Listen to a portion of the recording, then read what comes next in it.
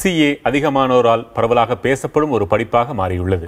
தமிழகத்தின் பல பகுதிகளிலும் சிஏ பயிற்சி மையங்களில் இணையும் மாணவர்களின் எண்ணிக்கை அதிகரித்து வருகிறது. அதற்கேற்ப பயிற்சி மையங்களும் அதிகரித்திருக்கின்றன. கோவை மற்றும் சேலம் மாவட்டங்களில் உள்ள பயிற்சி மையங்கள் குறித்து பார்க்கலாம்.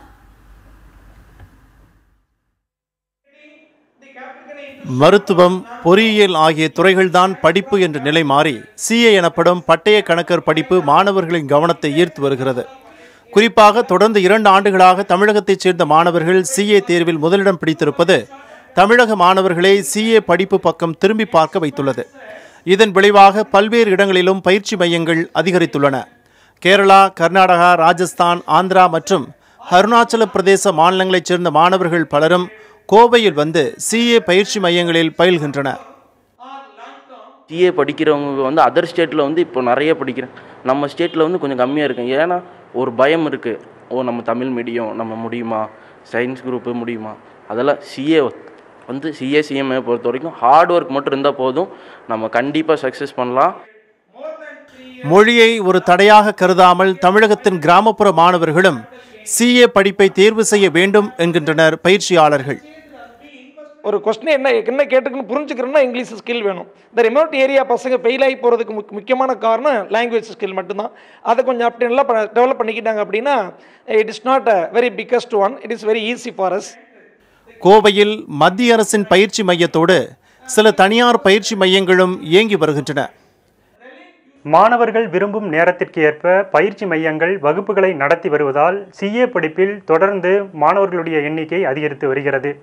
முழு நேரத்தையும் செலவிடாமல் முறையான பயிற்சி மேற்கொண்டால் சிஏ படிப்பில் எளிதில் சாதிக்கலாம் என்கின்றனர் சிஏ பயிற்சியாளர்கள்.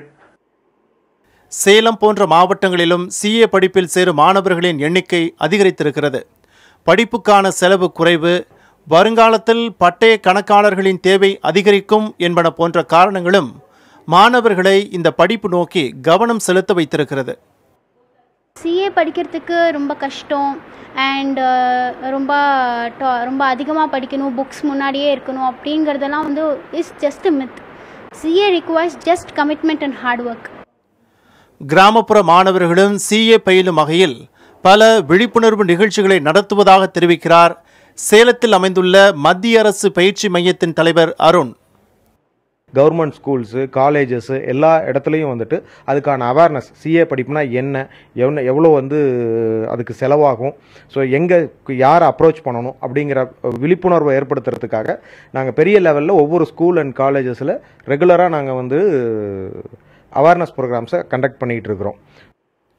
முறையான விழிப்புணர்வுடன் அனைத்து தரப்பு மாணவர்களும் விடாமுயற்சியோடு பயின்றால் அடுத்தடுத்த ஆண்டுகளிலும் தமிழக மாணவர்களே சிஏ தேர்வுகளில் முதலிடம் பிடிப்பார்கள் என நம்பலாம்.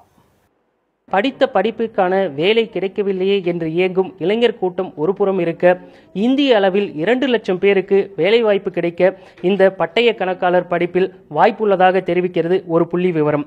இந்த சூழ்நிலையில் மத்திய அரசு உரிய நடவடிக்கைகளை மேற்கொண்டு கூடுதலாக பயிற்சி நிறுவனங்களையும் திறமை மிக்க பயிற்சியாளர்களையும் பயிற்றுனர்களையும் உருவாக்கினால் நிச்சயமாக இந்த வேலைவாய்ப்பு காலி பணியிடங்களை எளிதாக பூர்த்தி செய்ய முடியும் என்பதில் எந்தவிதமான சந்தேகமும் இல்லை.